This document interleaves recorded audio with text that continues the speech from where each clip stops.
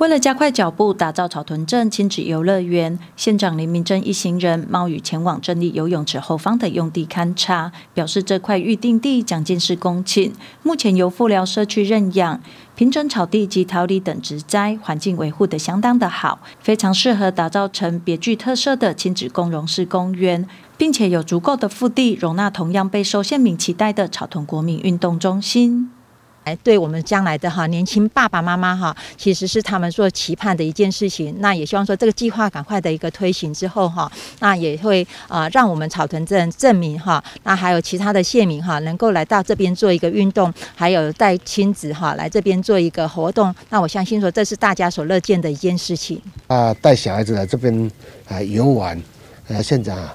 呃，准备我们的儿童公园呢，会先来做。啊，大概我们会也会准备啊六千万的经费啊，来先把儿童公园做好。另外，体育中心呢，这个是比较麻烦的，要详细设计。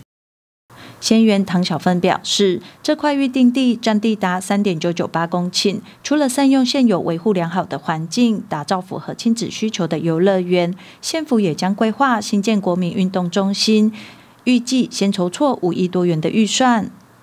其实这边的腹地非常的大，那其实也盖国民运动中心，也是我们镇民以及我们县民非常期盼的一件事情哈。尤其在我们邻近的彰化还有台中哈，各地都有国民运动中心，所以啊，自从小芬上任以来，那也非常接受很多哈民众他们的期盼，那希望说在我们草屯镇能够新建一件国民运动中心。体育中心呢，啊，在这边呢，哎，可以说啊，环境非常的优美哦，它又距离啊，我们学校很近呢。啊，所以学生哎要来这边哈，晚上这边做运动都非常的适当，给我们彩屯镇啊带来欣欣向荣的景象。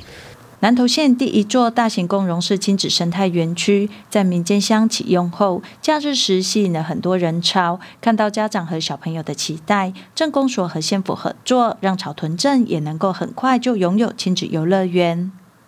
记者洪一伦草屯镇采访报道。